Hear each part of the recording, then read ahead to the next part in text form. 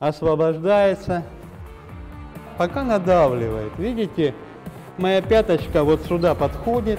Его опрокинуть, смотрите, что ускорение, которое я придаю. Я приветствую всех зашедших на наш канал.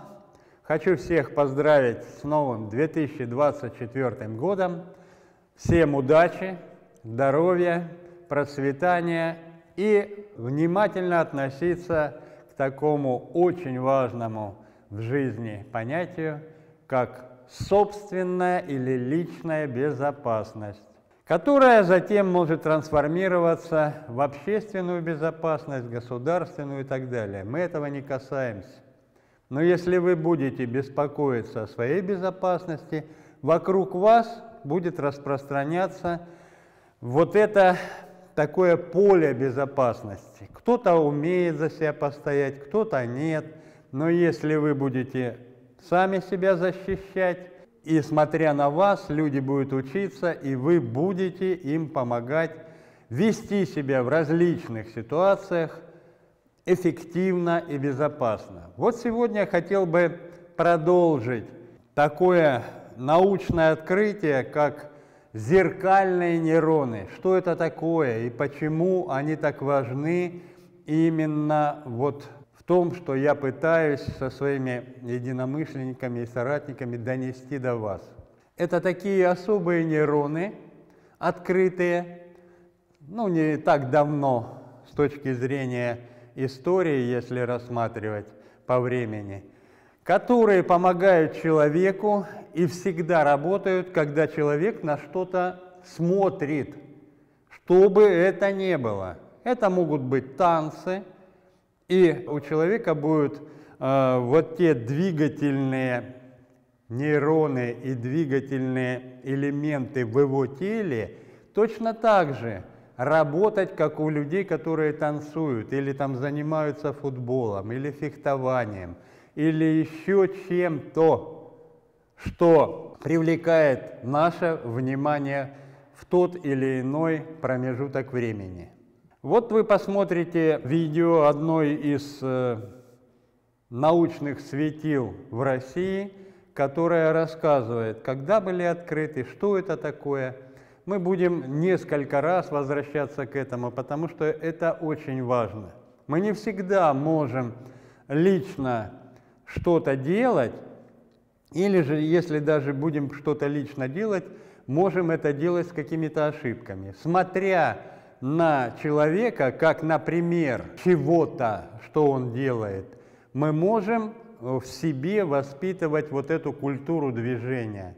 А если мы будем двигаться правильно, естественно, как к этому я призываю, то тогда и будет получаться тот самый идеальный результат.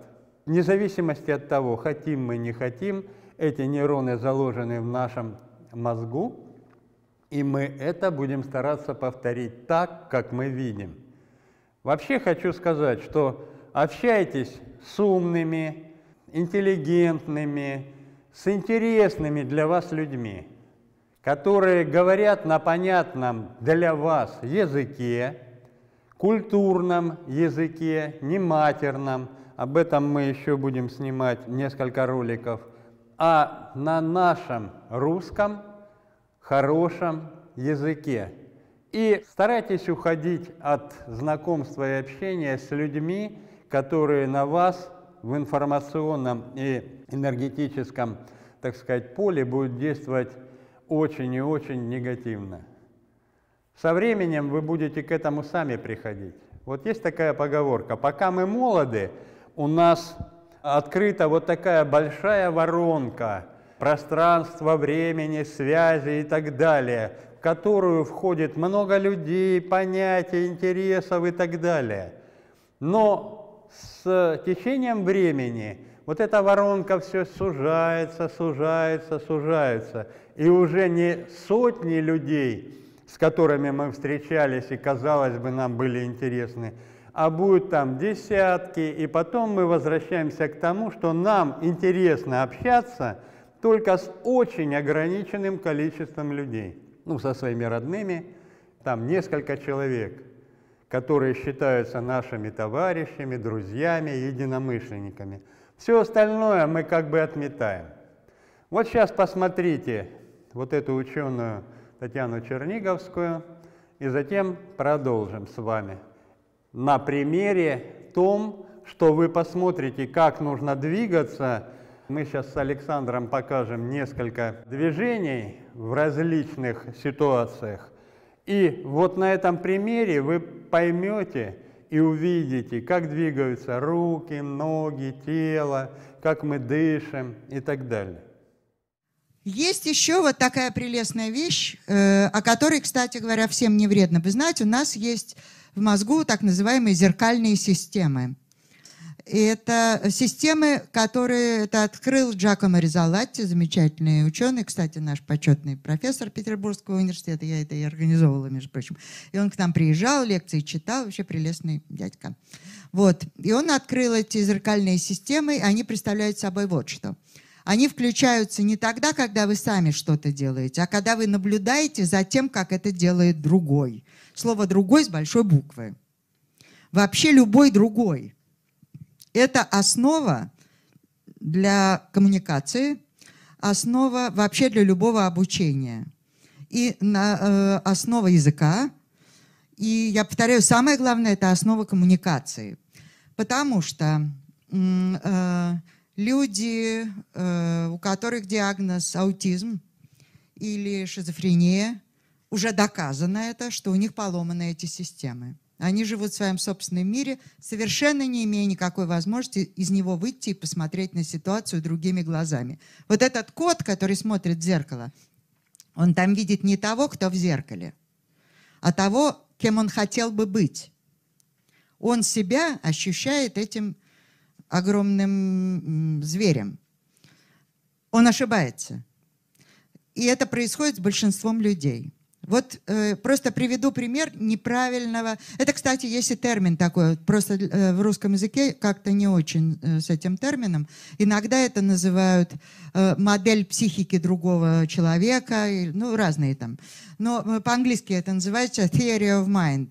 И это иногда переводят, и не верьте, это неправильный перевод, как теория ума. Это способность войти в сознание другого человека, посмотреть на ситуацию не своими глазами, а глазами другого или других.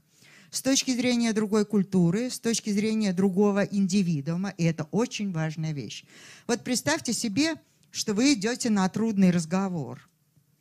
Опасный, трудный разговор. Вы знаете, вам трудно будет вообще его вести, нужно выиграть, вряд ли выйдет и так далее. Вы должны готовиться к этому разговору. И это значит, что вы должны как бы его проиграть с точки зрения не только своей, вот этой, кошачьей, но и с точки зрения львиной. То есть я ему вот что скажу, а он мне в ответ вот что. А я ему на это вот что, градус растет, понятно. А он мне на это вот что, после этого я стулом ему между глаз и врежу. Тогда не нужно ходить на разговор. Понимаете, если вы не знаете, если вы не можете проиграть партию, проиграть в смысле сыграть, партию а, вашего э, партнера, то вы проиграли заранее. Вы-то считаете, что это альфа-центавра, а я вам говорю, это стол. Ну и сколько мы будем беседовать? Невозможен разговор. Это очень важная характеристика, она считается вот такой, эм, ну как бы характерной именно для человека – но в последнее время э, ее признают для э, высших видов. Э, точно есть у обезьян, у высших обезьян. Кстати говоря, одним из показателей является, вот когда животных исследуют, является узнавание себя в зеркало. Скажем, им там какое-нибудь пятно ставят там, на щеку, он к зеркалу подходит и там начинает стирать. Значит, он знает, что это он. Есть у дельфинов, есть у высших приматов – Похоже, что есть у Врановых, ворон, у которых очень высокий интеллект. Вы знаете, что у них интеллект сопоставимый с приматами? Страшное дело. Чего они делают, эти вороны, это вообще. Вот.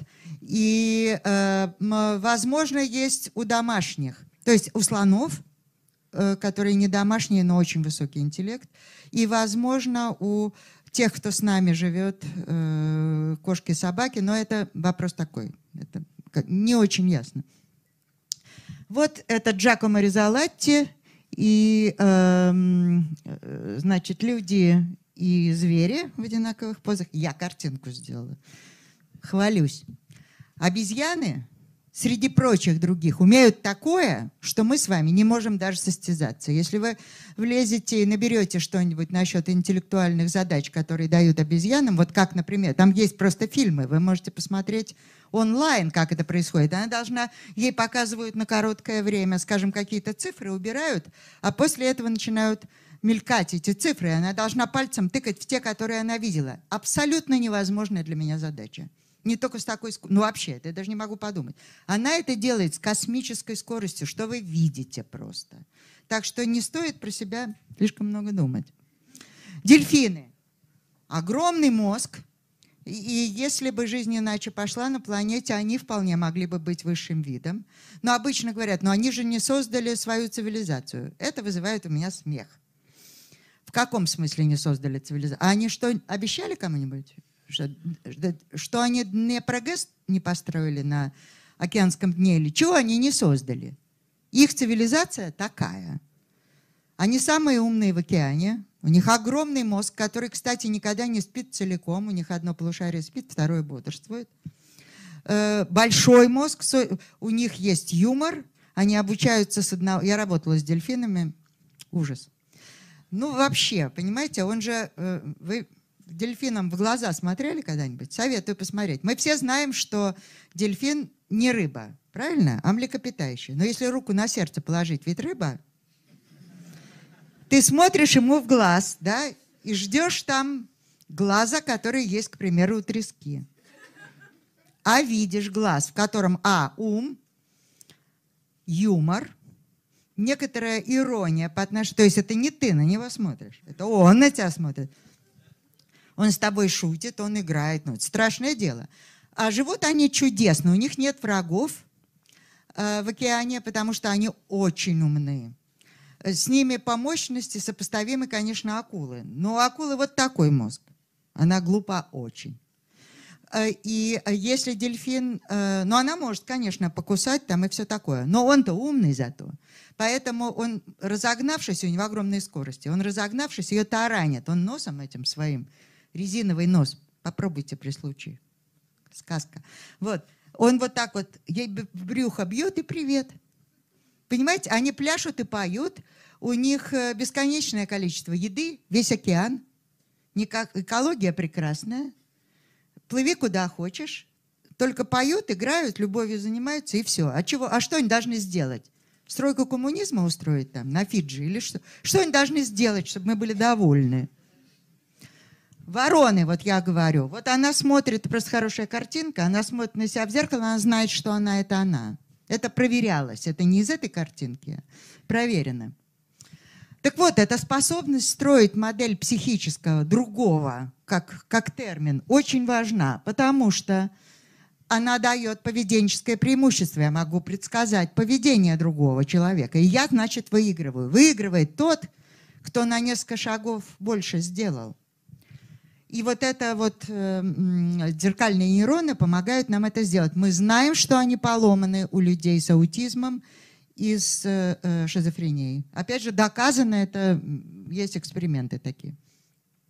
Так что способность вот к таким экстраполяциям, когда я вот глядя на человека говорю, вот какой-то он такой, я думаю, он будет себя так вести, так себя вести. Вот способность к такому размышлению, как бы выходя за то, что я считаю правильным, умным, там, нужным, я не, это не я смотрю, а я его глазами смотрю. И это особая такая способность, я должна сказать, что мое впечатление э, такое, что большинство людей, населяющих Землю, просто не обладает этим качеством вообще. Вот сейчас, ну, допустим, здесь будет показано э, на примере, допустим, освобождения и том, как работает тело, когда несколько точек к вам приложено, и человек что-то к вам уже физически будет прилагать. То есть это могут быть удары, это могут быть броски, остальные какие-то действия.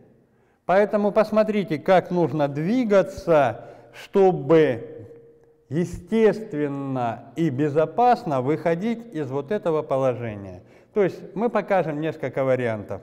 Вот смотрите, мы стоим фронтально, зажата рука, есть захват еще на одежде. У меня одна рука свободна, он две руки уже свои использовал, значит, может использовать только ноги, таз, ну, голову еще, да, ну и вербально может что-то на вас изрыгать нехорошее. Мы уже говорили, как к этому относиться. Смотрите на него, как у него двигаются губы, они двигаются у всех по-разному, как подергиваются ноздри, как двигаются мочки ушей или полностью уши, как он краснеет, когда он злится и э, у него эмоции переполняют и так далее. И относитесь к этому как к такому поучительному действию. Не принимайте все, что в вас летит. Поэтому спокойно относитесь, а лучше всего постарайтесь к этому с юмором отнестись. То есть ничего себе, пришел, начинает еще что-то там говорить, а смотрите, как все на нем это отражается, как в зеркале. Он говорит-то на меня, а сам распаляется, злится, его перекашивает, а значит эмоции зажимают его естественные движения. И мы тут спокойно можем работать. Раз есть вот эта рука, вот здесь вырываться, мы покажем еще, можно делать, но все время говорим, выдох, присед, разворот. Всего три слова. Выдыхаем, присаживаемся, разворачиваемся. Видите, я вышел из опасного положения. Посмотрите, как двигаются мои руки, ноги, корпус. Первое – это дыхание. Ха. И я сюда вышел. Дальше что будет? Все что угодно. То есть я могу запрокидывать, но только не вот по такому вектору, да, а слегка сдвигая его позвонки шейные. Вот сюда я сдвинул, и дальше вот здесь прокручиваю и убираю одну из своих опор. Присаживаюсь. И человек теряет опору. Это если мы будем говорить, что я использую вот эту руку, которая у меня не зажата. Дальше можно делать то же самое, освобождая вот эту руку. На выдохе в приседе в развороте. Как работают ноги, руки и так далее. Выдыхаю, рука, видите, освобождается. Примерно то же самое. И вот теперь нужно убрать или вот эту опору, или я убираю вот эту опору, а буду разгибать локтевой изгиб вот туда вниз и слегка прокручивать центральную ось. Вот пример как бы в освобождениях. Да, вы посмотрели, и теперь можете оценить, и у вас работали в микродвижениях те же мышцы, которые работали у меня или у него. Ну, в данном случае освобождаюсь я, значит, вы смотрите, как действую я.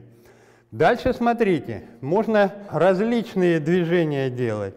То есть, вот сейчас как бы общая опорная площадка, ноги его не очень загружены.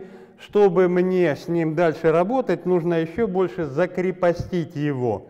И вот эта рука у меня теперь, видите, прокручиваясь, надавливает его в нижнюю часть живота не бьет, а пока надавливает. Видите, приподнялись носочки ног.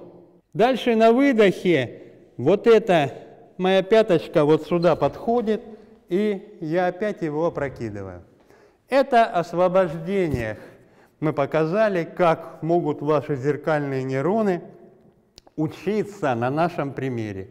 Теперь э, покажем немножко быстрее, потому что работа с ударами, она даже в медленном темпе, она все равно происходит быстрее, чем э, освобождение от захватов. Э, иду, идут удары. Мы все время говорим, что нужно работать от противного, как будто я получил уже вот удар. В данном случае он бьет меня в подбородок, да? Я смотрю, я тоже учусь. Вот у меня сейчас работают зеркальные нейроны, я на него смотрю, в конечной фазе, вот пришел его, вот этот сегмент мне в подбородок. Я посмотрел, что с ним происходит в этот момент. Обратите внимание, что когда он бьет, он слегка свой вес подает на меня, а может даже не слегка там проваливаться и так далее. В данном случае он не проваливается, но все-таки дает массу сюда. Я его вот этот вектор, смотрите, пропускаю, и получается в конечной фазе у него происходит, хочет он или не хочет, маленький провал. Ну, в данном случае маленький. То есть вместо подбородка его рука выпрямляется и не находит вот эту точку, в которую он должен был прийти. Опереться не на что. Вот смотрите, вот опереться не на что. И получилась выпрямленная рука. Здесь я ее не хватаю, а только придерживаю на случай, когда будет подтяг обратно. Видите, он не я работаю туда, в отталкивании, а в подтяге его масса меня приближает вот сюда. И теперь, чтобы мне его опрокинуть, смотрите, что я могу сделать? Опереться об его бедро ближе к коленочке. И смотрите, когда я вот эту часть буду убирать и на выдохе приседать, его масса будет тянуть его, и он не устоит. Смотрите, что происходит. Это может быть, смотрите, а него упор, это может быть а мою коленку упор. Если расстояние вот такое, чтобы не тянуться туда, у меня есть своя коленка. И дальше я вот сюда ухожу, видите, происходит то же самое. Рука слегка проворачивается, чтобы еще больше убрать степени свободы. Получается рычаг. Вот здесь болевой эффект и ускорение, которое я придаю вот этим вращением. Вот мы вам показали, как работают наши зеркальные нейроны. И в данном случае, смотря на нас, работали ваши зеркальные нейроны. И это очень важно. Я все время вам пытаюсь донести, что вам очень легко по сравнению с нами – мы это все находили, смотрели, читали, анализировали, и теперь преподаем вам. Пользуйтесь тем, что мы наработали.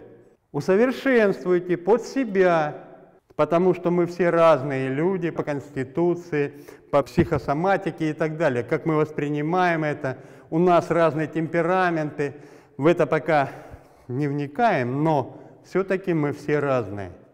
И может быть даже какие-то у нас есть медицинские противопоказания, что мы можем делать, что не можем. Вот в данном случае у меня э, сейчас заблокирован плечевой сустав. Очень э, жестко я не могу быстро работать и так далее. Но в данном случае я могу вот эту часть компенсировать другими своими частями, которые, вращаясь, работают и могут мне помочь и там увеличить скорость и так далее. То есть я, зная себя, изучайте себя, смотрите себя. Мы опять вам дали направление, где можно посмотреть, поучиться, что такое наш мозг и что такое зеркальные нейроны в нем. На этом все. По ссылочке переходите вниз. Вы можете скачать наш бесплатный курс и так сказать, дома, смотря его, опять же включать зеркальные нейроны. Хотите вы этого или нет. До новых встреч. Подписывайтесь на канал, записывайтесь на наши индивидуальные уроки. Всех благ, занимайтесь собой.